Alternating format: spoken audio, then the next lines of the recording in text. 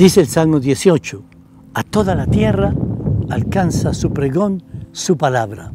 Sí, esta palabra santa, como paloma mensajera, vuela y quiere llegar hoy a tu corazón.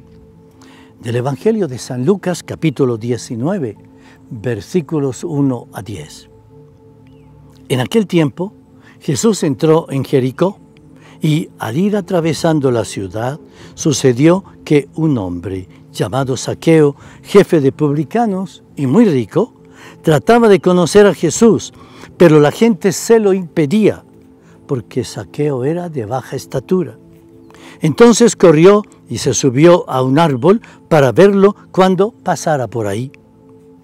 Al llegar a ese lugar, Jesús levantó los ojos y le dijo, Saqueo, bájate pronto, porque hoy tengo que hospedarme en tu casa. Él bajó enseguida y lo recibió muy contento.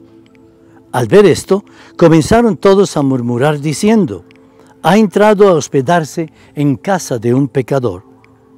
Saqueo poniéndose de pie, dijo a Jesús, mira Señor, voy a dar a los pobres la mitad de mis bienes, y si he defraudado a alguien, le restituiré cuatro veces más.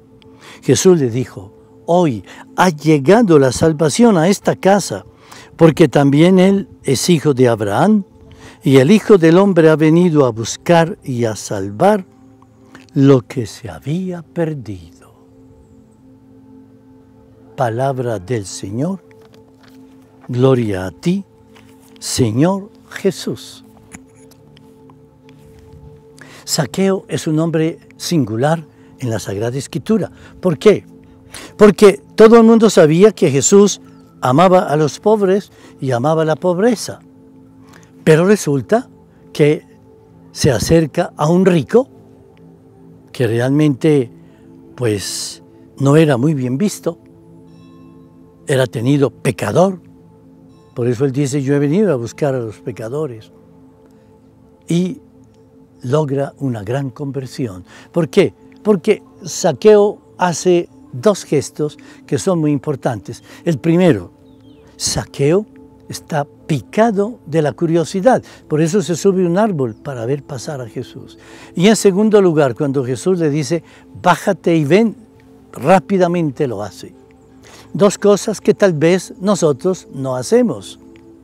En primer lugar, a veces no mostramos deseos, curiosidad, ganas de conocer a Jesús, de seguirlo, de tener una experiencia cercana con Él.